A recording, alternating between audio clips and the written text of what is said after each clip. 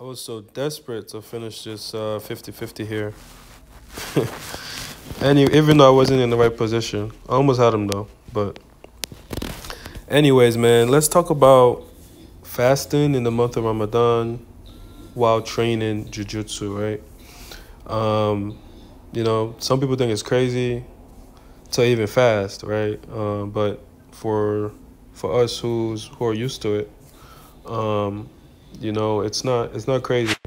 Um, I've been very active uh, in the month of Ramadan um, throughout my life, playing soccer from a very young age to even playing football, American football, um, in high school. So, and there was a season where actually the month of Ramadan hit us uh, in in football. So, and I was actually fast. I, I kept my fast still, but like I said, I've I've been doing this at a very young age, so I'm really used to it.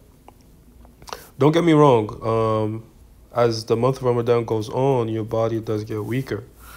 Um, I remember in football, like that first, the first half, the first like say fifteen days, I was still able to like engage, but like at the the the um the the, the second half of the 15 days basically almost um i was i was significantly weaker for sure. That was very noticeable.